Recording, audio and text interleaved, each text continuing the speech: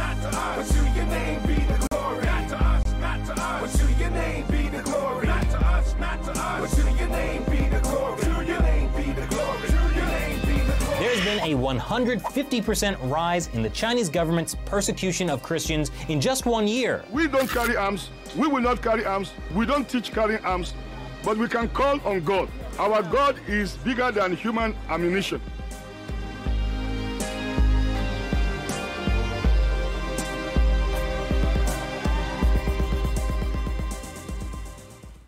Hey, what's going on, everybody? Welcome back to the Fifth Seal, episode 37. I'm your host, Norm the Master's Dog Dunham, aka the Evangelical Norm. Excuse me. So, the Fifth Seal is a podcast.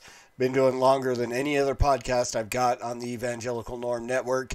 Uh, I started this uh, about 10 years ago uh, with Persecuted Church Awareness Month. I didn't know who to talk to or how to find out how to make some, something like that official. So I just decided November is Persecuted Church Awareness Month, and I started counting down the top 30 countries on Open Doors USA's World Watch List. Uh, every day through the month of November, I would do a new country, bring stories about persecution uh, to bring awareness to the situation of our brothers and sisters around the world who are persecuted because of their faith in Christ. A couple years ago, I expanded that to the fifth seal, referencing the, the fifth seal in the book of Revelation, uh, talking about those who have been martyred for their faith. And expanded to the entire year, counting down the top 50 countries. So from January to October, Twice a month, I bring again stories of persecution around the world that our brothers and sisters are enduring, and uh, prayer points for that particular week's uh, country on the world watch list. It is a countdown. That is why the episodes go backwards. So last week was episode 38. Today is episode 37. Next uh, two weeks from now will be episode 36. So that's just the way the whole thing works. With all that being said, that's a little background for the new subscribers to the podcast. And again, all that being said, it is Wednesday, July 28th, 2021. And this is our update on the persecuted church around the world. This is from persecution.org. Pastor brutally tortured by police in northern India. According to Morningstar News, Police in India's Uttarakhand state arrested and tortured a Christian pastor last month. Following the attack, the pastor and his family had been forced to flee 600 miles after continued harassment. On June 13th, police in Shyampur, located in the Haridwar, dis- Haridwar district, arrested Pastor Sanjay Kumar Bharati, his wife, his three children, and several members of his church. According to Morningstar News, the police were acting on a complaint that Pastor Bharati was Bharati was violating COVID-19 restrictions by holding a small prayer gathering. After being taken to the Shyampur police station, officers began beating Pastor Bharati and questioning him about illegal religious conversions. Quote, as soon as I was taken inside the police station, a policeman slapped me three or four times on my face and punched me in my stomach. He hurled curses at me and accused me of alluring people and converting them, unquote, Pastor Bharati told Morningstar News. According to Morningstar News, police officers took Pastor Bharati into an inner room and where they wiped him on whipped him on his legs and feet with a leather belt. Quote, Hell broke upon me as broke open on me as they mercilessly tortured me for 30 to 40 minutes, unquote, Pastor Bharati told Morningstar News. Quote, I begged them to spare me, repeatedly asking them what was my fault, unquote. Pastor Bharati reports that police interrogated him regarding illegal religious conversions, even though he was detained for allegedly violating COVID 19 restrictions. Police officers also demanded to know where Pastor Bharati received funds to pay people to convert to Christianity. Before releasing Pastor Bharati, police ordered him to leave the village where he and his family lived for the past 12 years. The officers warned that if they received one more complaint, they would arrest him and send him to jail.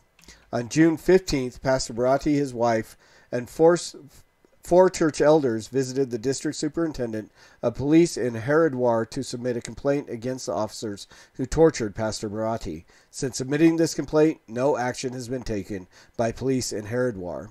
On July 6, Pastor Bharati and his family moved from Shyampur and relocated 650 miles away. False accusations of forced religious conversions are often used by radical Hindu nationalists to harass Christians. In many cases, these false accusations are used to justify physical assaults. Across India, attacks on Christians and their places of worship continue to be reported in greater number. The proliferation of anti conversion laws, which provide legal cover for radicals, is among the reason for the increasing number of attacks.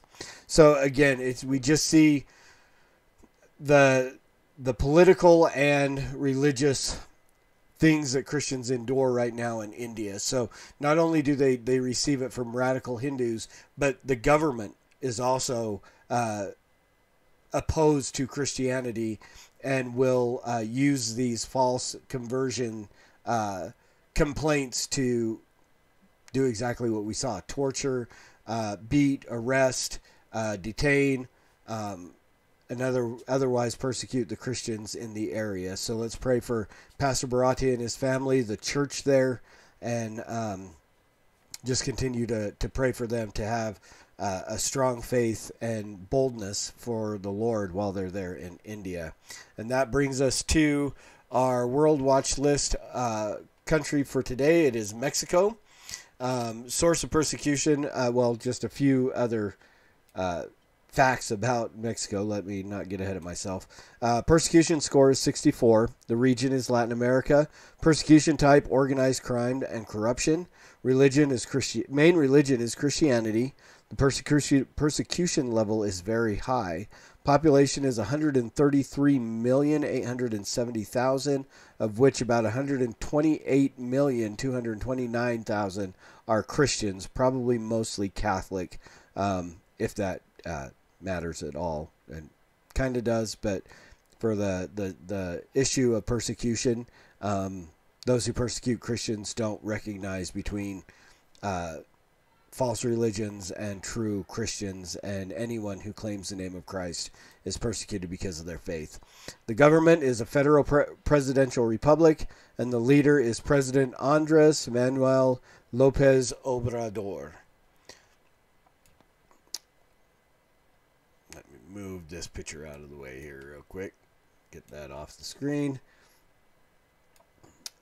All right, what does persecution look like in Mexico and what is life like for Christians? The increasing presence of criminal groups and their struggle for territorial control create an environment where Christians, and particularly Christian leaders, face the constant risk of being targeted for violence. Christians are perceived as a threat to criminal activities because they oppose corruption and drug use, or because they explicitly reject any demands or requests of criminal organizations.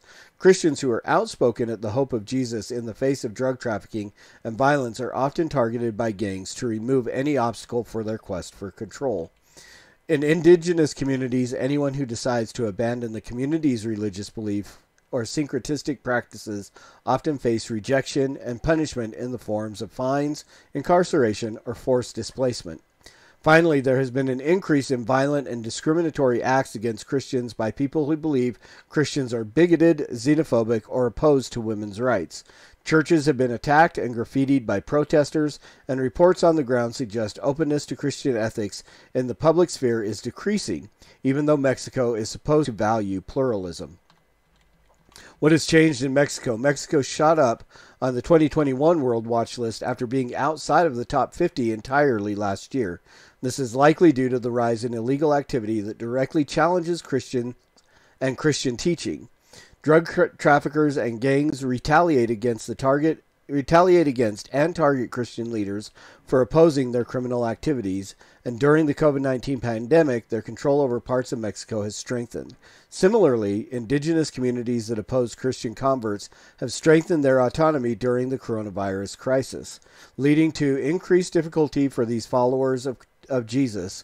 And finally, Mexican society seems to be increasing in its commitment to secularism instead of pluralism. Often, Christian viewpoints are not welcome in the public sphere. So, who's most vulnerable to persecution? Criminal networks have spread throughout Mexico. Although there are still two main cartels in Mexico, there are others. At least 17 criminal groups that have a significant presence in the country. That doesn't include the new or fag- fragmented groups. Also, who also persecute Christians because they perceive Christians as a threat to their group's interests. Persecution against Christians inside indigenous communities occur particularly in the southern part of the country, and the rejection of Christian viewpoints in the public square is increasingly an issue throughout Mexico. So, some prayer points for Mexico, things we can pray about. Pray for Christian leaders who risk so much to serve their church communities in places where they are targets of, targets of organized crime. Ask God to spare them from the violence and to care for their entire family and church in dealing with the violence and trauma. Pray for Christians who convert out of their community's belief system. Pray for a softening of hearts among local leaders and that Christians would be safe and able to be a light for Christ's hope in the middle of a dark situ- situation. And pray for Christians struggling to see how they fit into Mexican society. Ask God to give them compassion and courage as they risk their lives and livelihood to walk in faith. Let's pray. Father God, thank you so much again for this opportunity we have to come um, and to join our voices together to raise up, uh, lift up our brothers and sisters around the world who are persecuted because of their faith in you. Lord, we praise you for the social media that you have provided that we can come together across thousands of miles and even across the span of time, as many will watch this video later and join their voices with ours as we pray for our brothers and sisters around the world. Lord, we, we lift up Pastor Bharati and his family in India. Lord, we pray first that you bring healing to his body as he's been uh, after the, the brutal attacks and, and torture that he endured at the hands of police there.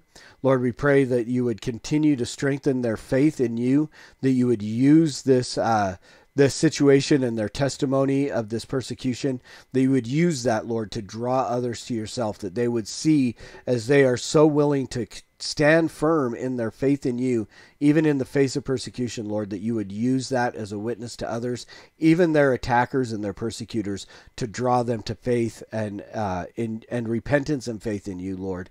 God bless them in their their new situation wherever it is that they've relocated to.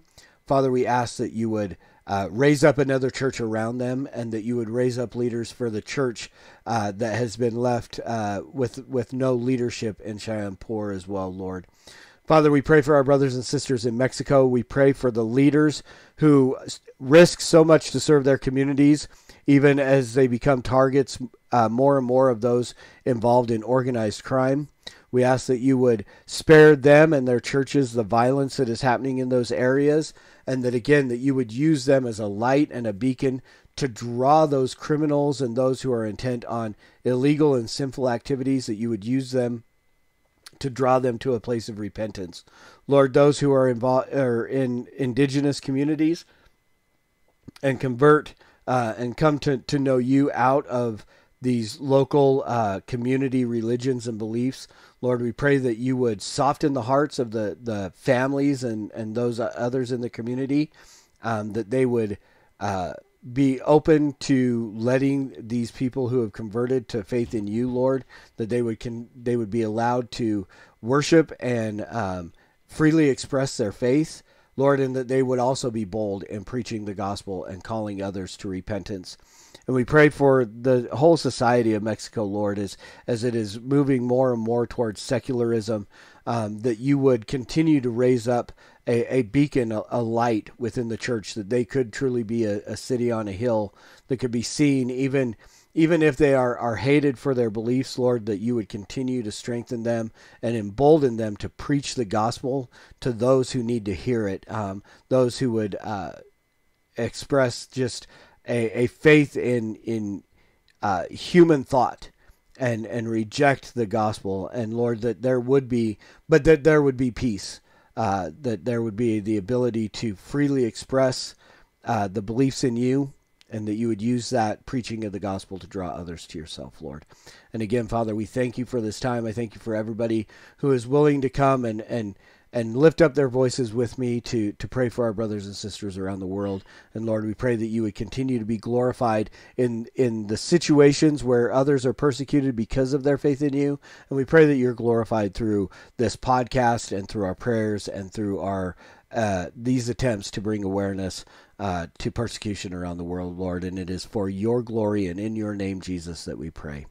Amen. Amen. Hey, thank you guys for uh, being part of this, for coming and joining me. If you haven't already, please hit the subscribe button.